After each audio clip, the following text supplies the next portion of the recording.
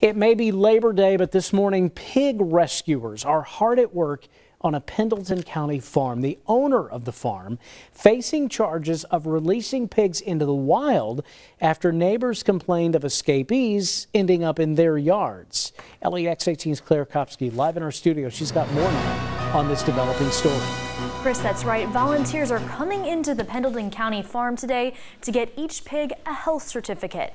Local rescuers and others from across the country are coming into town to prepare the pigs to be moved.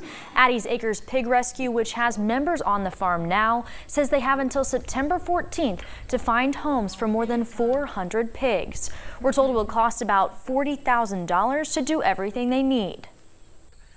They all have to be spay and neutered, microchipped, so there's a bunch of volunteers showing up and people from other rescues, and we're going to be um, getting a bunch of them ready. Rescue leaders are asking for donations and volunteers who can help get the pigs to safety.